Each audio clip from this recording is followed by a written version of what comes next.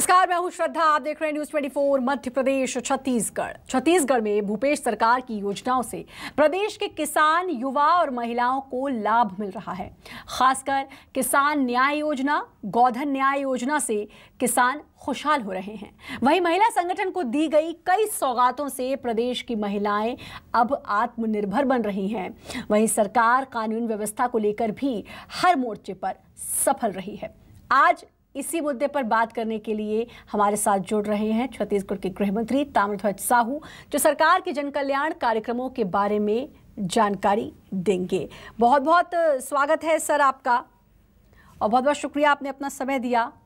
और बात बहुत बहुत धन्यवाद आपको। जी और अब बात सरकार की योजनाओं की उन योजनाओं की जिससे जनता तक लाभ पहुँचा है और जनता प्रगति की ओर अग्रसर हुई है, प्रदेश प्रगति की ओर अग्रसर हुआ है।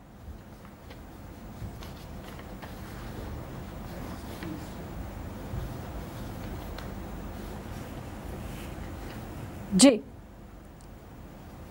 सर, बहुत सारी योजनाएँ सरकार ने शुरू की हैं, जिससे प्रदेश की उन्नति हो। उन योजनाओं के बारे में जानना चाहूँगी आप, उन योजनाओं के बारे में थोड़ा हमको बताएँ, छत्तीसगढ़ की जनता को बताएँ ताकि जनता को पता हो कि सरकार ने उनके लिए क्या कुछ किया है।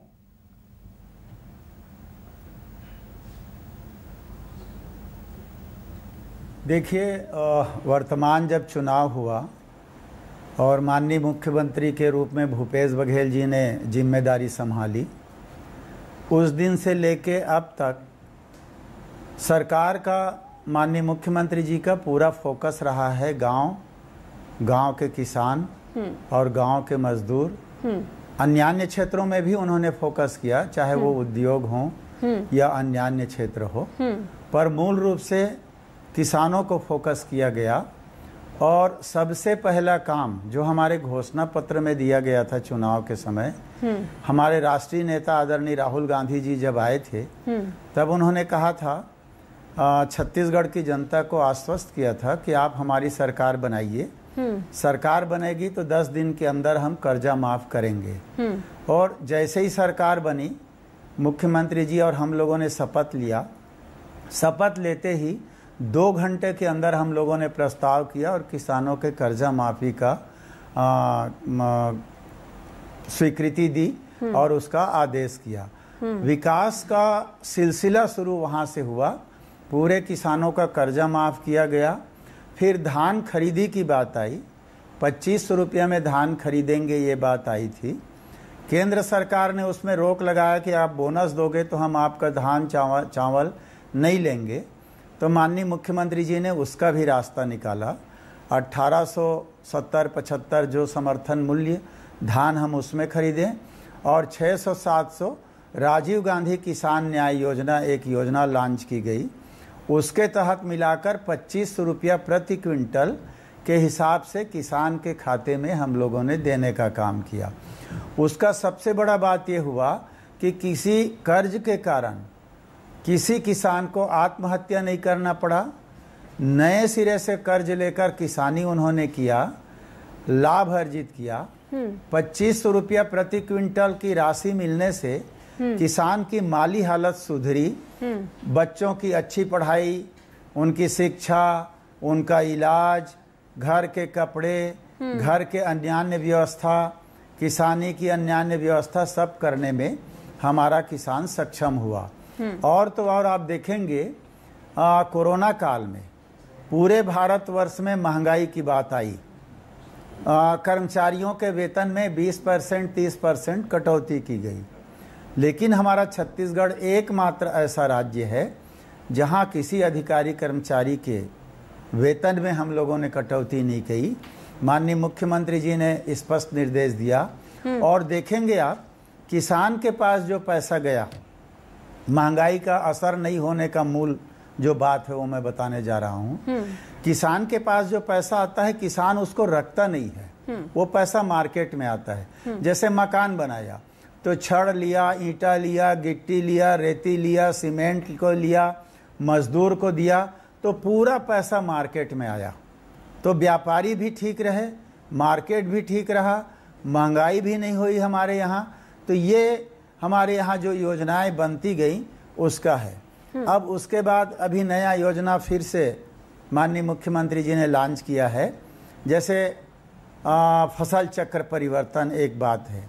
जैसे धान बो रहे हैं। धान जो बो रहा है किसान धान बोना बंद करके अगर वो वृक्षारोपण करता है तो तीन साल दस दस हज़ार हम देंगे उस किसान को। अगर वो दूसरा कोदो कुटकी अरहर कोई दूसरा फ़सल बोता है तो उसको भी हम नौ हज़ार की दर से हम राशि हर वर्ष देंगे। तो नया नया फ़सल चक्र परिवर्तन का भी स्कीम निकाला गया। और इसी प्रकार की जितनी भी योजनाएँ लॉन्च की गई वो लगातार हम आ, किसानों के लिए मजदूरों के लिए बेरोजगारों के लिए महिलाओं के लिए युवाओं के लिए सब के लिए योजना लॉन्च की गई। जी। जी। आ, सबसे एक जो उपलब्धि कहेंगे सरकार की अर्थव्यवस्था आर्थिक तौर पर देखें तो उसमें भी मजबूती आई है अर्थव्यवस्था को मजबूती मिल रही है। मुझे याद है जब कोरोना की पहली लहर आई थी और उससे जब जैसे ही उभरे थे तो मुख्यमंत्री ने ये कहा था कि हमें इतना नुकसान नहीं हुआ, हम आर्थिक तौर पर मज़बूत हैं। ये एक बहुत बड़ी उपलब्धि कही जाएगी। वो दौर जब पूरा देश ही नहीं, पूरा, हम कहेंगे कि हर जगह कोरोना की वजह से आर्थिक तौर पर हर कोई कमज़ोर हुआ था, लेकिन उस समय भी इतना पूरे प्रदेश को सहेज के रखा कि किसी को इस तरह की दिक्कत नहीं आई।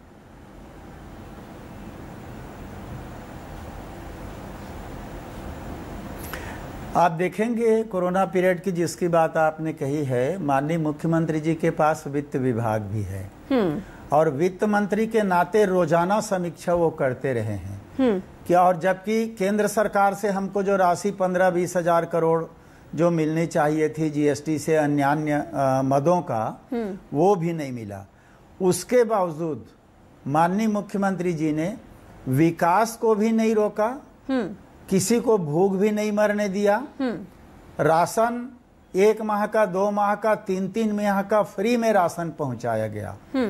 छोटे छोटे बच्चे जो आंगनबाड़ी कोरोना के कारण बंद तो राशन उनके घर तक पहुँचाया गया। किसी को भूख मरने नहीं दिया गया।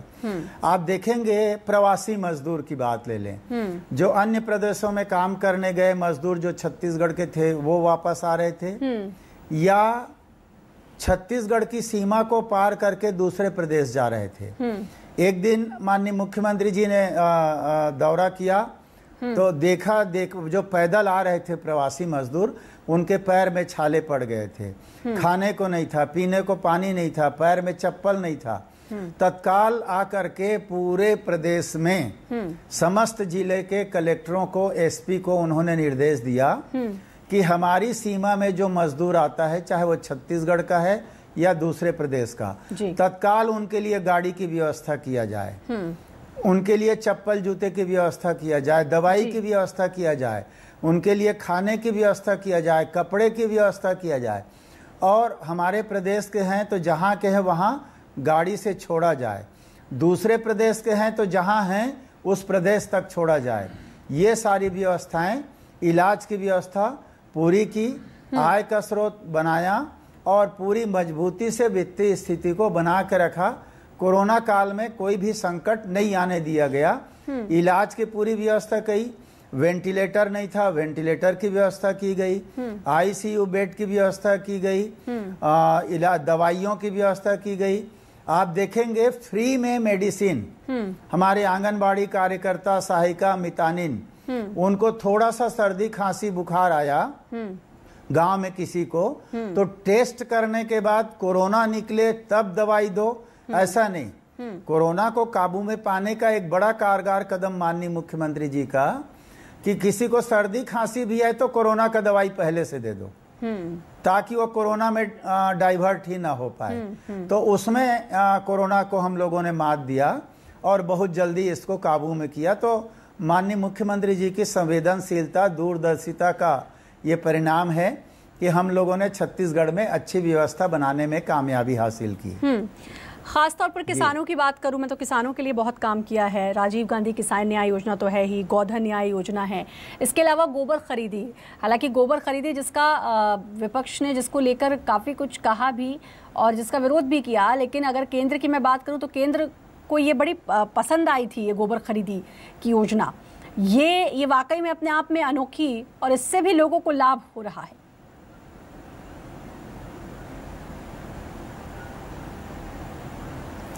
देखिए जिस समय माननीय मुख्यमंत्री जी ने इस योजना को लॉन्च किया, गोबर खरीदी का तो लोग हँसी उड़ाते थे। कि ये भी कोई सरकार है ये भी कोई योजना है कि गोबर खरीदने में लगे। लेकिन उस समय भी मैंने कहा था आज भी मैं जगह जगह बोलता हूँ इस चीज़ को लोगों को मात्र गोबर खरीदी की बात नहीं ध्यान देनी चाहिए। हमारा जो गौठान बन रहा है वो हमारा लघु उद्योग केंद्र के रूप में विकसित हो रहा है। गाँव के जितने बेरोजगार नौजवान हैं महिलाएँ हैं सबको वहाँ रोज़गार मिलेगा। देखिए 10-15 महिला समूह गौठान में मशरूम उत्पादन करेगा एक सेड उनको देंगे। 10-15 महिला समूह सिलाई का काम करेगा एक सेड बना के उनको देंगे। 10-15 का एक समूह सब्ज़ी उत्पादन करेगा। 10-15 का एक समूह गोबर खरीदेगा। दस पंद्रह का एक समूह बर्मी खाद बनाएगा। दस पंद्रह का एक समूह सुपर काम्पोस्ट खाद बनाएगा। दस महिला का समूह एक मछली उत्पादन करेगा। दस पंद्रह का एक समूह डेयरी उत्पादन का काम करेगा। दस पंद्रह का समूह बकरी उत्पादन का काम करेगा। अब आप सोचिए वो जो गौठान बन रहा है वो हमारा लघु उद्योग केंद्र के रूप में। काफ़ी पहले मैंने एक पुस्तक पढ़ा था पूरा योजना। उसमें गाँव के लोग शहर क्यों जाते हैं? क्योंकि शहर में पक्की सड़क है सीमेंट सड़क है बिजली है पानी है इलाज की व्यवस्था है। शिक्षा की व्यवस्था है शौचालय की व्यवस्था है। माननीय मुख्यमंत्री जी का बड़ा स्पष्ट सोच है कि वो सारी सुविधाएँ अगर हम गाँव में दे दें तो लोगों को शहर आना ना पड़े। इसलिए आप देखेंगे देखिए अंग्रेज़ी मीडियम का स्कूल।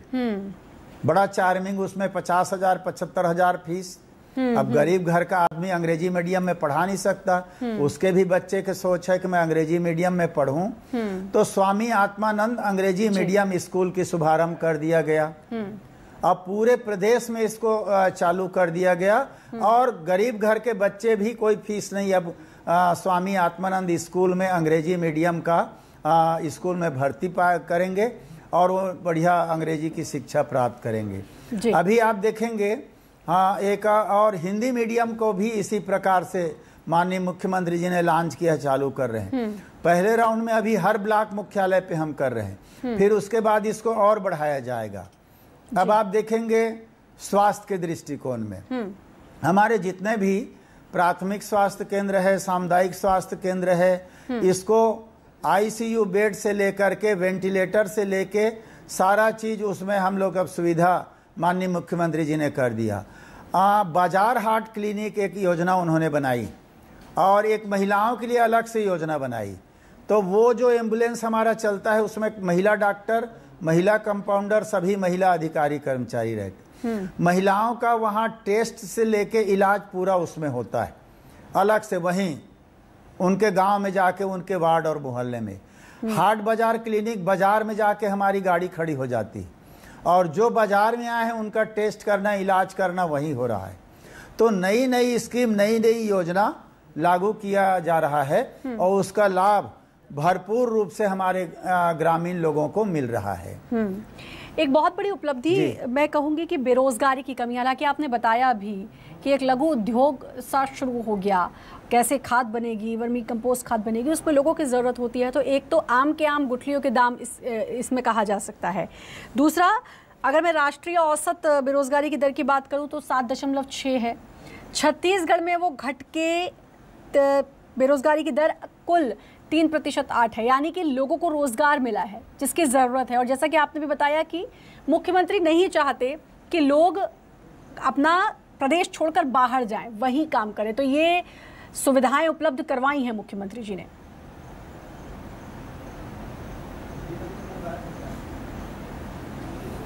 जी, आप देखेंगे कि एक तरफ़ रोज़गार उपलब्ध भी करा रहे हैं, एक तरफ़ नौकरी भी देने का काम चल रहा है। दोनों एक साथ चल रहा है। गोबर की जो बात अभी मैं कर रहा था आपको अभी तो एक और बड़ी चीज़ ला रहे हैं एक नया क्रांतिकारी कदम गोबर से बिजली उत्पादन हम करने जा रहे हैं।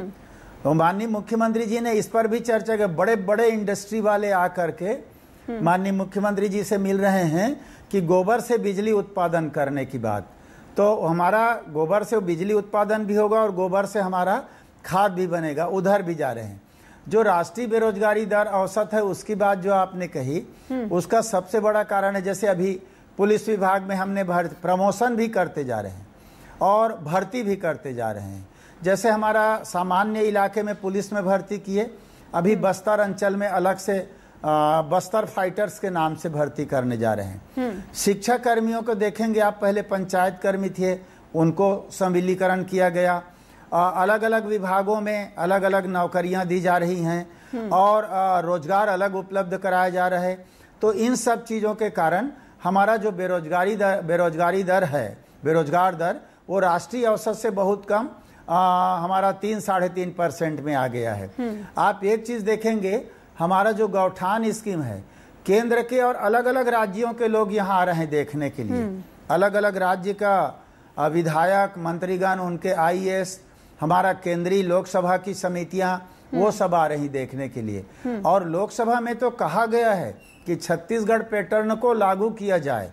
तो बहुत सारी चीज़ें इस प्रकार की हो रही है। बेरोजगारों को रोज़गार देना नौकरी देना ये सब कर रहे हैं ताकि हम अच्छी सुविधा अपने यहाँ दे सकें। जी। एक और उपलब्धि कही जाएगी जीएसटी की अगर हम बात करें तो 20 प्रतिशत की वृद्धि हुई है जीएसटी संकलन में। ये बड़ी बात है और आर्थिक तौर पर प्रदेश को बहुत मज़बूत करती है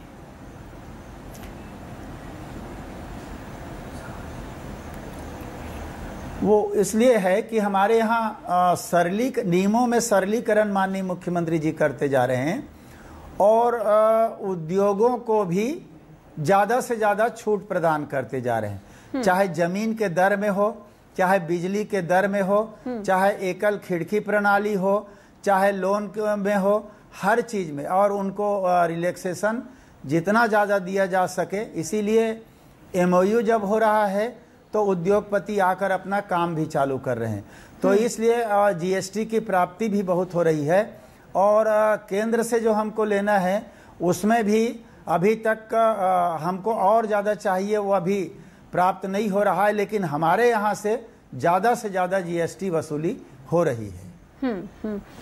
वनोपज के जो पारिश्रमिक से लोगों के खातों में बैंक अकाउंट्स में सीधे पैसे डाले जा रहे हैं।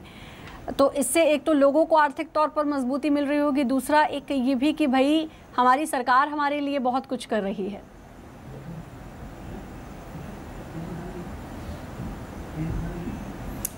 इसमें तो मैं ये कहना चाहूँगा कि ये आ, एक बड़ा क्रांतिकारी परिवर्तन है।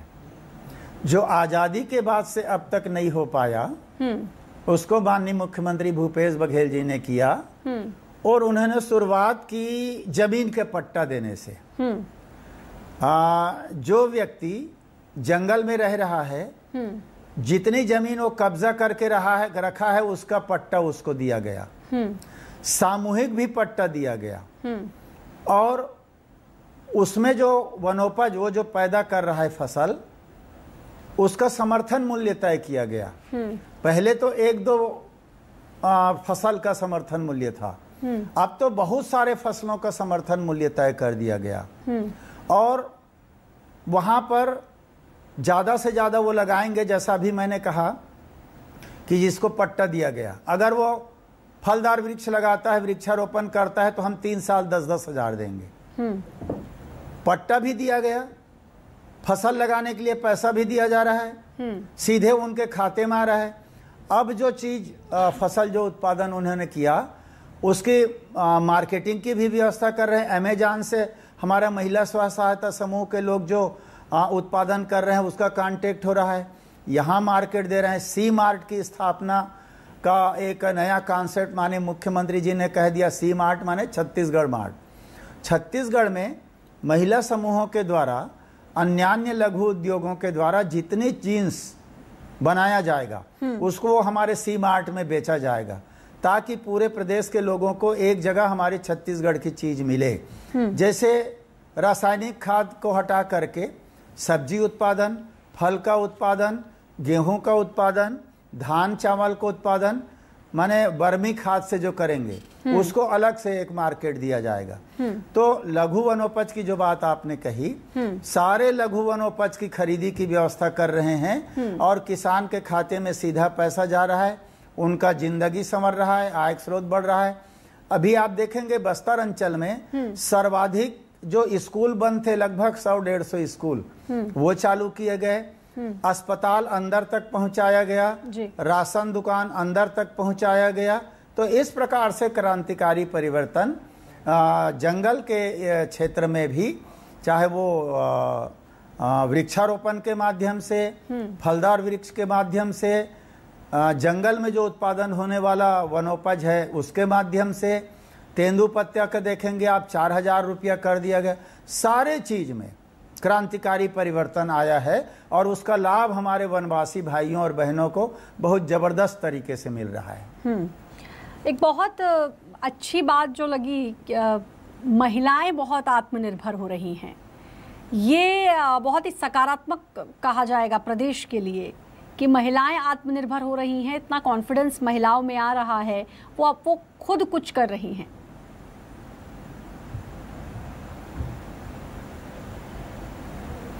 ये एक बड़ी अच्छी बात आपने कही और मैं, मुझे भी गर्व लग होता है, खुशी होती है कि हमारे प्रदेश में छत्तीसगढ़ खेतिहर मजदूर इस प्रकार से जो बातें हुआ करती थी। माननीय मुख्यमंत्री भूपेश बघेल जी ने बड़ा दूरदर्शिता का परिचय दिया, दूरगामी सोच उनका।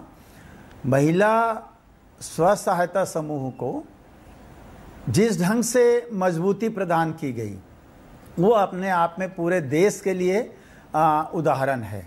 और जैसा कि मैंने कहा कि आ, अभी महिला स्वसहाय मशरूम उत्पादन करें सिलाई करें डेयरी करें मछली उत्पादन करें सब कुछ हमारी महिला स्व सहायता समूह के लोग कर रहे हैं। और इससे उनमें बड़ा एक कॉन्फिडेंस आया है और बड़े गर्व से वो बोलते हैं। कई बार हम लोग वीडियो कॉन्फ्रेंसिंग में मुख्यमंत्री जी के साथ रहते हैं। जी। और महिला स्व सहायता समूह से बात करने का जब अवसर मिलता है तो उनको जब पूछते हैं कि गोबर से कितना फ़ायदा हुआ तो हमारी बहनें कहती हैं कोई पचास हज़ार फ़ायदा हुआ कोई चालीस हज़ार फ़ायदा हुआ कोई कहते हैं मेरे घर में मंगल सूत्र बनाया तो कोई कहते हैं बच्चों को मैं अंग्रेज़ी मीडियम के स्कूल में भेजा। तो बड़ा सुनकर खुशी महसूस होता है। कुछ लोन भी था। अभी मुख्यमंत्री जी ने तीजा के अवसर पे आ, महिला स्व सहायता समूह के उस ऋण को भी माफ़ कर दिया ताकि हमारी बहनें सशक्त हों, मज़बूत हों, आगे बढ़ें, ऋण के भार से दबे हुए न रहें, उनमें आत्मनिर्भरता आए, जोश आए और हमारे प्रदेश के विकास में एकजुटता का प्रदर्शन करते हुए, अपने परिवार को अच्छा माहौल देते हुए आगे बढ़ें, ऐसा कर रहे हैं। मैं मुख्यमंत्री जी को भी बहुत बहुत बधाई और शुभकामना देता हूँ उनके इस दूरगामी और व्यापक सोच के लिए। जी। जी। मुख्यमंत्री भूपेश बघेल ने जब सत्ता संभाली थी तो छत्तीसगढ़ के कहते हैं चार चिन्हारी नरवा गरवा घुरवा बाड़ी। ये योजना जिसकी पूरे देश में चर्चा भी हुई और ये भी कहा है मुख्यमंत्री ने कि ये उनकी एक ड्रीम योजना है उनकी ये। तो ये छत्तीसगढ़ की जनता के लिए कितनी लाभकारी और इसके बारे में ज़रा बताएँ।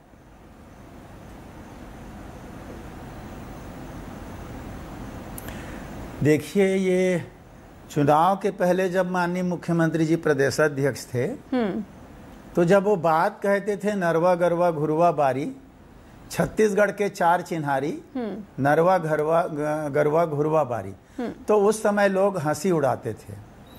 अब आप देखिए उनके एक एक सोच को मैं थोड़ा सा संक्षिप्त में बता देता हूँ। नरवा माने नाला। नाला आज छोटा होता जा रहा है अतिक्रमण होके। नाला में पानी रुक नहीं रहा है। नरवा नाला को बंधान कर रहे हैं स्टाफ डैम कर रहे हैं एनीकट बना रहे हैं। ताकि उसमें पानी भरा रहे। अब पानी भरा रहने से कितने फ़ायदे? दोनों किनारे जो खेत हैं वो पंप लगा के सिंचाई करेंगे। जी।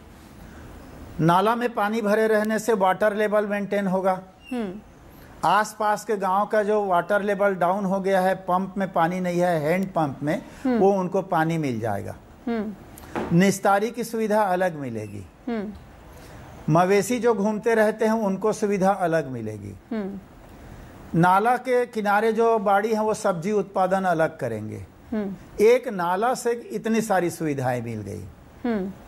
अब देखिए गरुआ गरुआ माने जानवर मवेशी हमारे।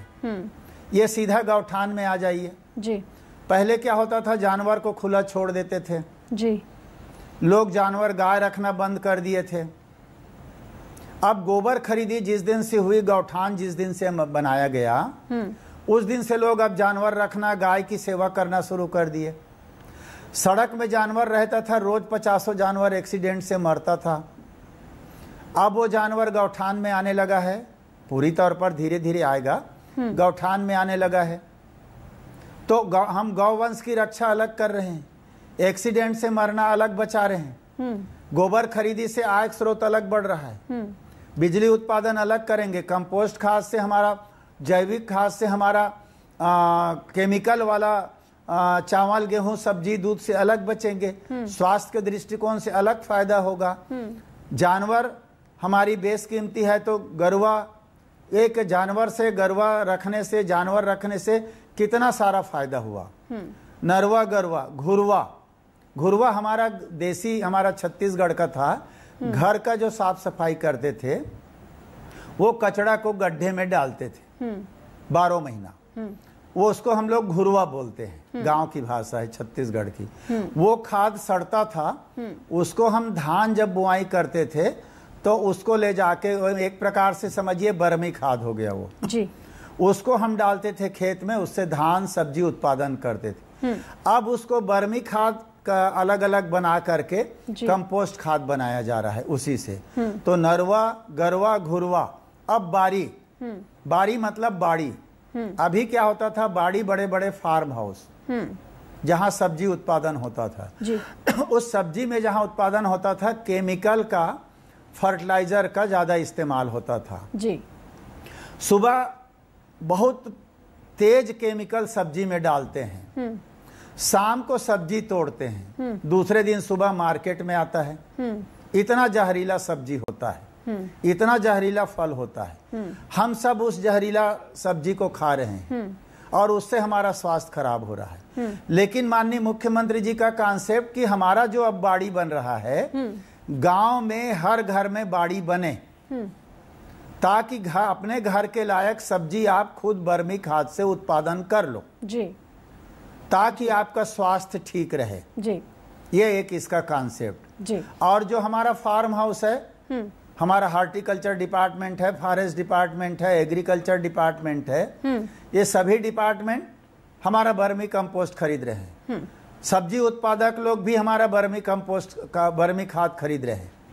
अब सब्ज़ी उससे उत्पादन हो रहा है। तो वो मार्केट में आकर ज़्यादा रेट में बिक रहा है स्वास्थ्य के दृष्टिकोण से भी बहुत अच्छा है। तो ये जो चार नरवा गरवा घुरवा बारी ये मूल हमारे मुख्यमंत्री जी का उद्देश्य और उसका ये कॉन्सेप्ट था और उसको आज हम लोग पूरा करने जा रहे हैं। जी जी। जी जी। तो ये बहुत अच्छी योजना है प्रदेश के लिए जिससे प्रदेश वाकई में तरक्की की ओर बढ़ रहा है आर्थिक तौर पर मज़बूत हो रहा है। अ, हम चाहेंगे कि सरकार ऐसे ही काम करते रहे प्रदेश की जनता के लिए। सर आप जुड़े आपने अपना कीमती समय दिया उसके लिए आपका बहुत बहुत धन्यवाद।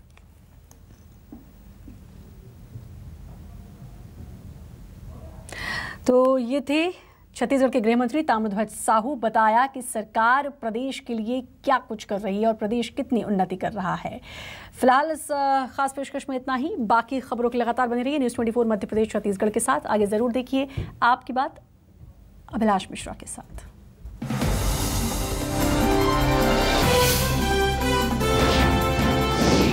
न्यूज़ 24 मध्य प्रदेश छत्तीसगढ़।